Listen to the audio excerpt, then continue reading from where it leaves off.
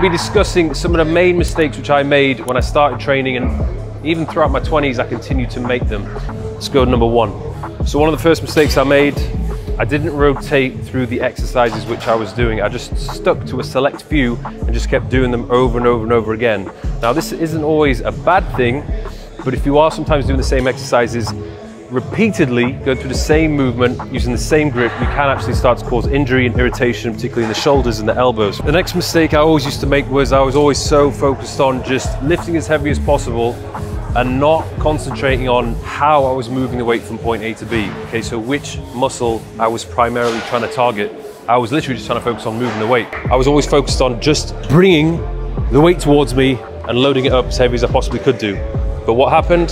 Over engaging the bicep, hadn't taught myself how to engage the lat, guess what? My lats never grew. Next mistake I always made, looking at my phone far too much. Now, when I go to the gym, I put my phone on airplane mode, or I'm just like a lot more disciplined with myself and I don't look at my phone. You don't have time to check your phone realistically, so if you want a more effective, more focused workout, don't look at your phone. I guess it wasn't really a mistake, but if I'd gone back, I probably would not have done it in the first place, and that is attempting to do far too many one rep maxes. And it was usually the case when I was training with some big guys, I was just letting my ego get in the way and trying to keep up with them. And the majority of the time, I've attempted to do a one rep max. I almost always injured myself.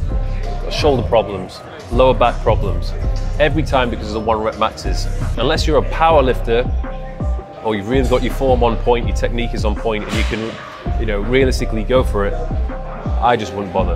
Another mistake I used to make, I used to train to failure way too often. And it's not necessary to actually build muscle and to grow. Particularly if you're a beginner, you should not be pushing to failure. There's no need to, you don't need to to grow. The next mistake I made, not warming up appropriately before my sessions. I remember in my early 20s, mid 20s, I used to walk into the gym feeling invincible and literally go straight into my working set weight for the first exercise. Guess what happened? I got myself injured.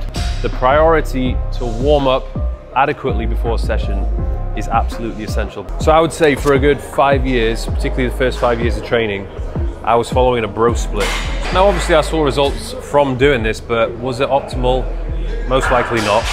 It was just not enough stimulus to allow it to grow as much as it possibly could do. And the last one, I used to train far too frequently. Quality over quantity always. When you go to your session, push hard, train effectively, train intense, and you really need to do that four or five times a week to actually see the results which you want to achieve.